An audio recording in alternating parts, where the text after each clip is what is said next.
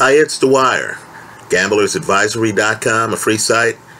BettingAngle.us, a free site. Today is Thursday, March the 19th, 2020.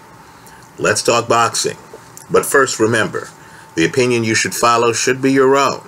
Just consider this video to be a second opinion from a complete stranger online. Now, if you're going to bet on boxing,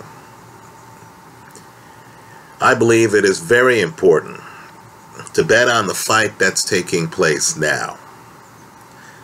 Not a fight that happened in the past. Right? Make no mistake. I thought Triple G beat Canelo the first two times they fought. I watched all 24 rounds. I have yet to see Canelo beat Triple G.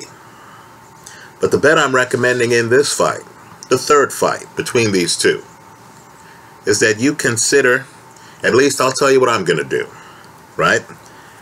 I'm taking Canelo to win the fight.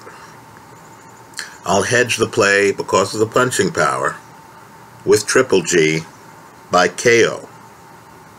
Quite frankly, and I know this is not how most people see it, one man's opinion, Quite frankly, I consider the Billy Joe Saunders fight that Canelo has coming up to be a much tougher fight, in part because of the movement, the fact that Saunders is a southpaw, the fact that Saunders has a jab, the fact that Saunders has lateral movement, can fight inside and outside. I believe has a hand speed advantage on Canelo.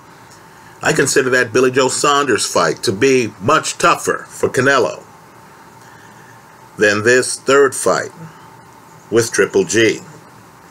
Now let's let's talk about the two fights because they're different. First fight, Golovkin's the aggressor. He's the man coming in controlling the pocket. He lands a lot of hard body shots. Canelo is backing up. Canelo's trying to fight the fight using boxing skills on his back foot. Right? Canelo's episodic. Canelo is the one who's expending a lot of energy in the middle of a fight. Canelo looks tired. He looks winded. He looks like a guy being hunted down. He's the hunted in that fight. Canelo does make a comeback, but I thought it was clear that Golovkin, who at that point was an unbeaten middleweight champion, had won the fight. Right? The judges saw it differently. The judges scored that fight a draw. Okay. Their card matters, not my card. But I had Golovkin winning the fight when you have a guy who is on a historical run like Golovkin, and he's clearly ahead in the fight, right? Clearly ahead at the end of eight rounds, in my opinion, right? When the other guy makes a comeback but doesn't really hurt Golovkin, doesn't stagger Golovkin, uh, Golovkin holds his own. I, I don't know how the opponent gets a draw under those circumstances. Well, then we get to the second fight. And here's where something changed big time. Canelo's the aggressor. Worse yet, Canelo, who is a quick learner. In other words, after a rough series of rounds in the middle of the first fight, Canelo's making adjustments, right? Hence the comeback in the first fight. By the time we get to the second fight, Canelo has made a decision. I'm going to own the pocket. I'm going to force this guy onto his back foot. I'm not going to be afraid of getting knocked out. I'm one of the hardest punchers in boxing. That's the secret in this fight. As hard as Golovkin hits, understand Canelo has always been one of the hardest punchers in boxing the danger is two-way. So Canelo is there lunging in with huge shots. He has Golovkin backing up. He has Golovkin at times conceding the pocket. In my opinion, he still loses. Right? Because Golovkin takes a step to the side. Look at the tape. And is hitting Canelo repeatedly with a jab. Now, let me just say here's where skin really does matter. Cutting really does matter. If you had the same fight, and if Golovkin opened up a cut on Canelo, like Otto Wallin opened up on Tyson Fury, and if that cut was bleeding all over the place, right, the exact same fight, understand the judges would have focused on that jab because it's popping the entire fight. The judges would have focused on Golovkin's jab. And Golovkin would have been awarded the decision. Now, I'll agree. As that fight goes along, Canelo starts landing wicked body shots. They actually start to take an effect on Golovkin. But again, Golovkin is stepping to the side and he's hitting Canelo repeatedly with a jab. I thought Golovkin won the second fight. Right? I'll agree. Canelo looks better in the second fight, but I can tell you, I saw the fight at a place that had a lot of Canelo fans in it. Right? In boxing, you can tell simply because when the fighters enter the ring, one guy enters the ring, the crowd looks, you know, a little apathetic. The other guy enters the ring, people are cheering and stuff like that. Early in the fight, before the pattern breaks out, when one fighter lands some shots, people are cheering. When the other fighter is landing shots, people aren't cheering. Right? I saw the fight with a Canelo crowd. I'm just telling you, when they announced Canelo the winner of the fight, there wasn't a lot of celebration in the place. People thought Golovkin had been robbed. Well, let me just say, what happened in the second fight, though, is even more profound than that. Canelo stumbles, I shouldn't say stumble, Canelo finds, he deduces the formula on how to beat Golovkin. Right? Get him on his back foot. My point to you is a guy with Canelo's head movement, a guy with the head movement that Canelo had in the Danny Jacobs fight, and that was spectacular head movement, can make the adjustment. In other words, if Canelo's collapsing the pocket, Golovkin is sliding out, coming back with jabs, a guy like Canelo who makes adjustments should be able to as Golovkin tries to come back with the jab, swivel his head, right? Canelo's a little bit shorter than Golovkin. Right? Hide his head, duck a little low, force Golovkin to reach for him. Well, since that fight, Golovkin's had two fights. Right? He's also changed his trainer. He hasn't looked the same. Let's remember, too, there's an age dynamic here. Golovkin is now 37 years old. Understand, this fight is happening down the road. It's not even Canelo's next fight. Right? Golovkin's 37 years old.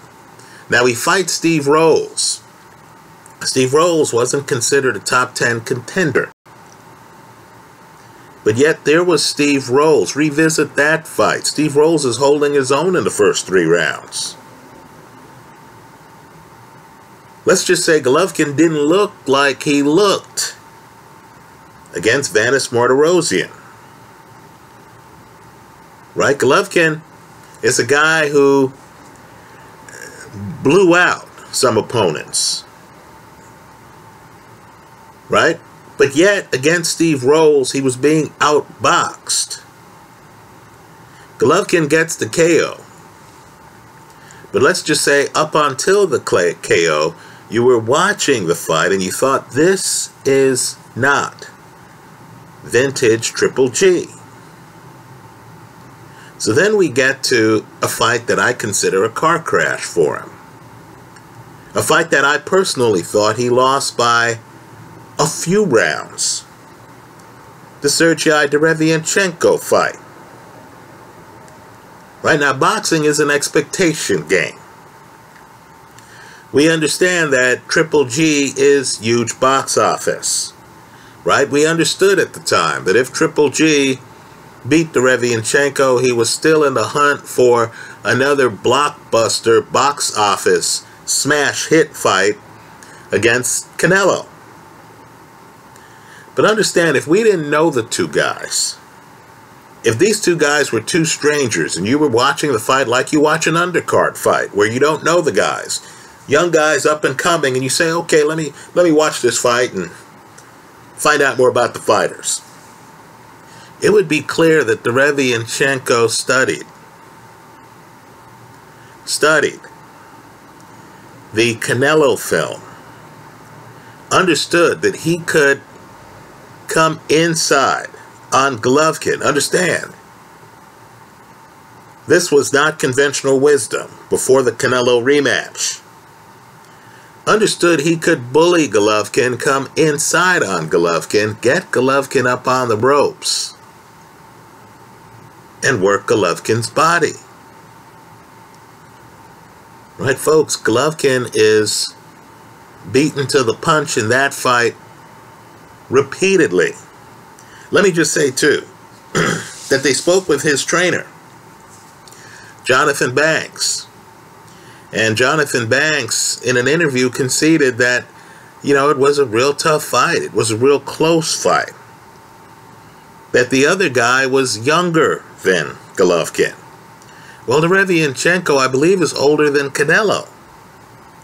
What they're telling you is that the Golovkin corner knows that they're dealing with an older fighter who needs to try to hit home runs, who has to pace himself, has to take rounds off, has to try to hide in some rounds.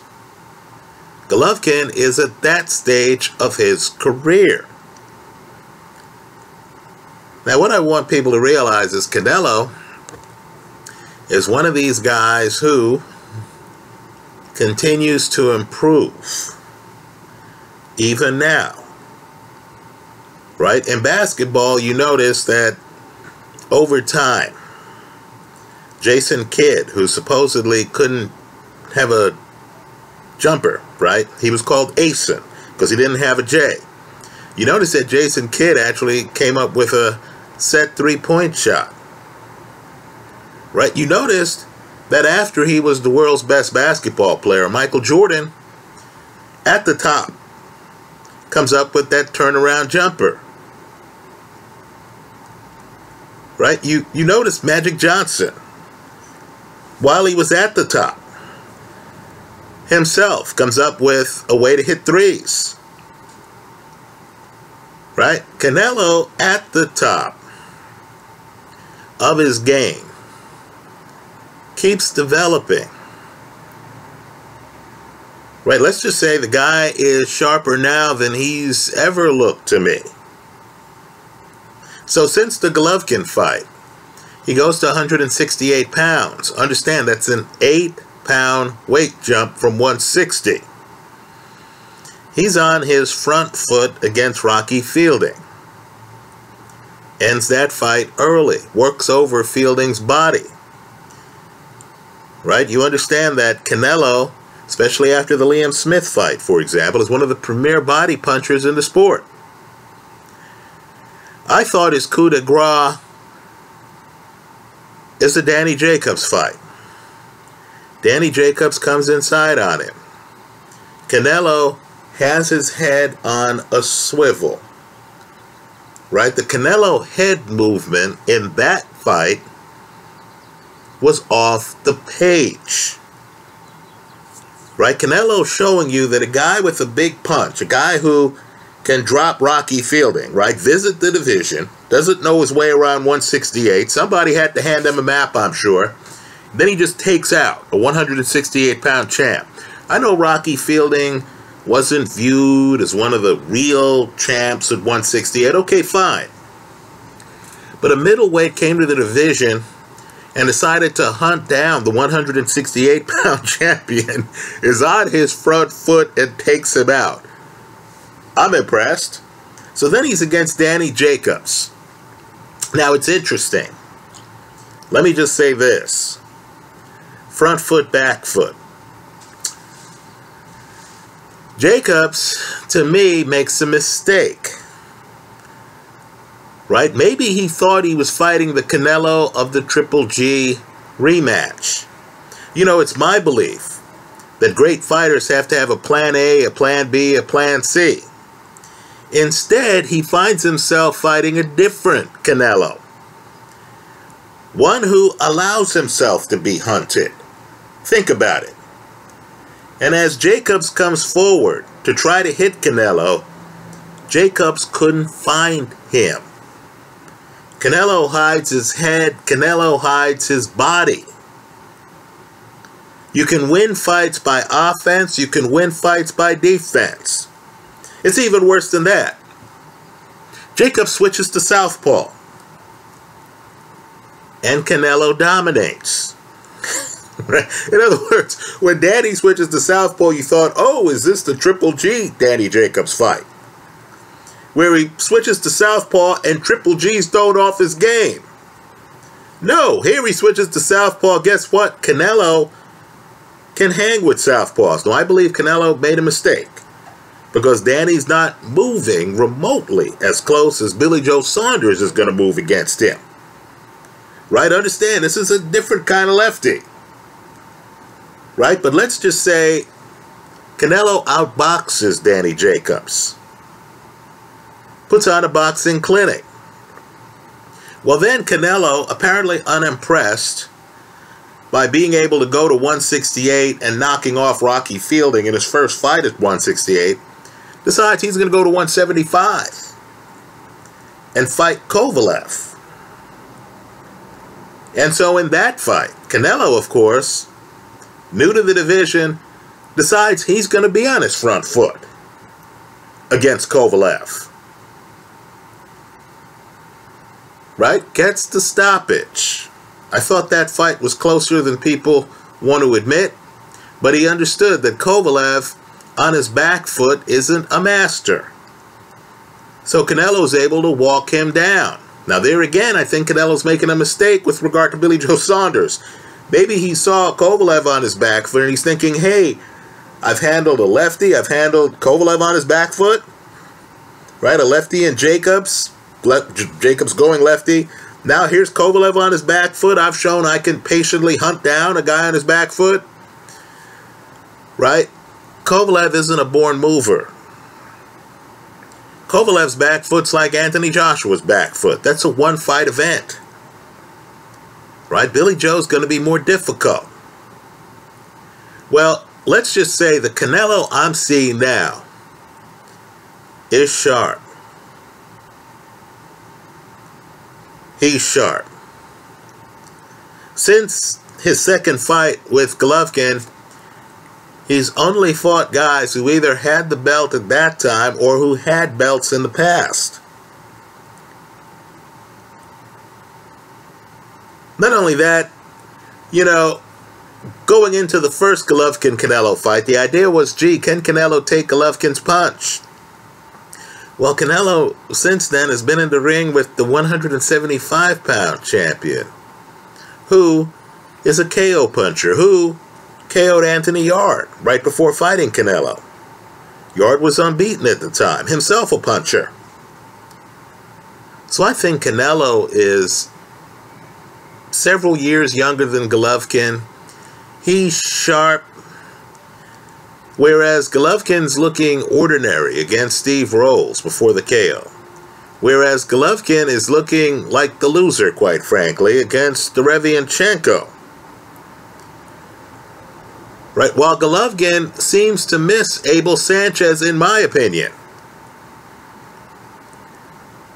Right, Canelo has looked sharp.